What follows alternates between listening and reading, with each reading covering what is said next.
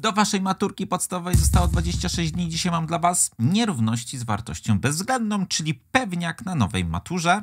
Zapraszam. A po co mi ta matma? Trzymajcie rozwiązania do poprzednich pracy domowej. Standardowo, proszę, hashtag komentarzu. Maraton 2024. A więc mówicie, że bardzo byście chcieli maraton z rozszerzenia, tak?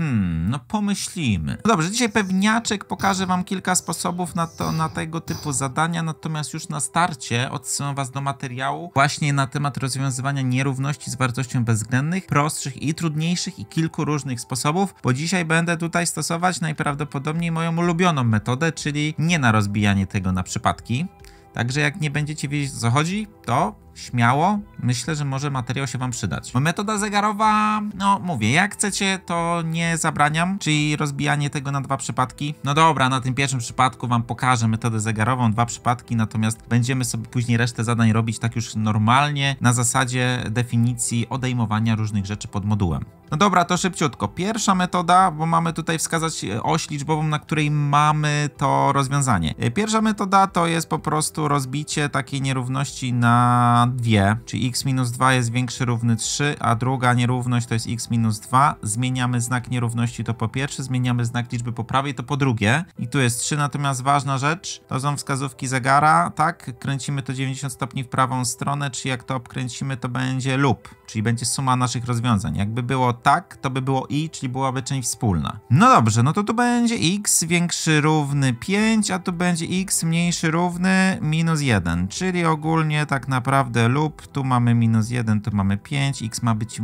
większy równy, czyli w tą stronę idziemy od piątki, czyli idziemy w tą, x jest mniejszy równy 1, czyli idziemy w tą. No i suma, no to w sumie mamy rysunek zaznaczyć, no to będzie odpowiedź w takim razie B, natomiast druga metoda od razu. Jeżeli macie odejmowanie pod modułem, jeszcze w ramach szybkiej powtórki, to od, odległość dwóch liczb na osi liczbowej to jest właśnie odejmowanie a minus b pod modułem. I to może być a minus b albo b minus a, nie ma to znaczenia. Tak? Czyli różnica pod modułem to odległość liczby a od b na osi. Czyli my możemy spojrzeć na to, co my tu mamy, że to ma być odległość x od dwójki, a x to są te nasze rozwiązania. Czyli jak sobie narysujemy oś, to tak, no xa nie narysujemy, ale dwójkę narysujemy. Czyli tą dwójeczkę sobie tutaj rysujemy, o, i to ma być tak, odległość naszych rozwiązań x od dwójki ma być jaka? Większa równa 3. No to odległość równa 3 w tą stronę, tu będzie 5, odległość 3 w tą stronę to będzie minus 1. I odległość ma być większa tych naszych rozwiązań niż 3 od dwójki. No to większe są w tą stronę, tutaj są większe niż 3 albo w tą stronę. Czyli rzeczywiście to będzie wyglądać tak, no bądź równe, czyli kółko zamalowane. No i to jest o wiele szybciej, dlatego polecam wam tą metodę. Kolejne zadania sobie zrobimy z tego. Kolejne zadanie. Wskaż nierówność, która opisuje przedział zaznaczony na osi liczbowej. No właśnie, jeżeli macie takie zadanie jak to, że jest odwrotnie, czyli dostajecie oś i macie wskazać nierówność z modułem, która będzie ok, to już w ogóle jest o wiele szybciej stosować tą drugą metodę. No bo teraz patrząc tak, odległość. Pierwsze co musimy zrobić, to policzyć sobie, co jest idealnie po środku między tymi liczbami liczbami. Żeby policzyć środek, to musimy wyznaczyć sobie średnią arytmetyczną po prostu, no albo po kratkach policzyć, nie ma problemu. Minus 4 plus 2, minus 2 na 2, no to wychodzi mi, że to będzie minus 1, ok? No to, no to rzeczywiście tu jest nasze minus 1. No i teraz tak, zauważcie, że ta odległość od minus 1 do 2 to jest 3. Tak samo od minus 1 do minus 4 też jest 3. Czyli odległość, czyli moduł x minus i to jest odległość x od czego? Od minus jedynki, czyli x minus minus 1, tak powinniśmy to zapisać. Ma być jaka? No to, to, co mamy zaznaczone, to jest ten przedział, czyli te odległości są, no jakie? No mniejsze niż 3, tu są odległości mniejsze niż 3 od minus 1. Nie są bądź równe, bo kółko nie zamalowane, czyli to musi być mniejsze niż 3. No tylko tyle, że tu dwa minusy mamy, a dwa minusy dają plus, czyli tu mamy x no plus 1 mniejszy niż 3. Mamy taką odpowiedź? X plus 1 mniejszy niż 3, jak najbardziej mamy b. No dobra, i trzecie, ja już tak myślę, że na deser, bo tutaj nie ma jakoś specjalnie dużo możliwości, żeby jakieś podchwytliwe rzeczy wam dać. No to teraz mamy takie zadanie. Przedział od minus 1 do 3 jest opisany nierównością.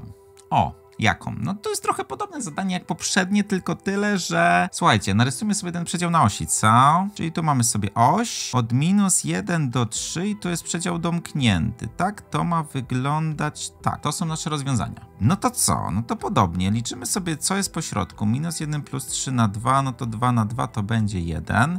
Czyli po środeczku jest idealnie 1. Odległość naszego środeczka od obu końców tu jest 2 i tu jest 2 w takim razie. Czyli co? Czyli odległość naszych rozwiązań x od jedynki, czyli x minus 1 po prostu tym razem. No i ma być jaki? No te odległości mają być, no mogą być równe, tak, 2, bo tu są kółka zamalowane, no ale te odległości mają być mniejsze, równe 2 w takim razie. Mniejsze, równe 2. Ok, no to która odpowiedź?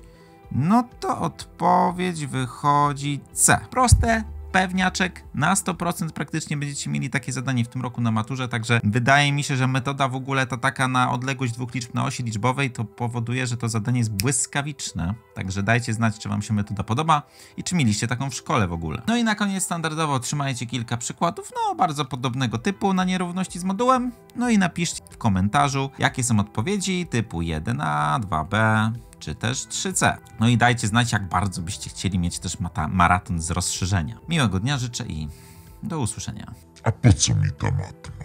Przypominam, że maraton jest codziennie o 20. Możecie też polecić maraton swoim znajomym.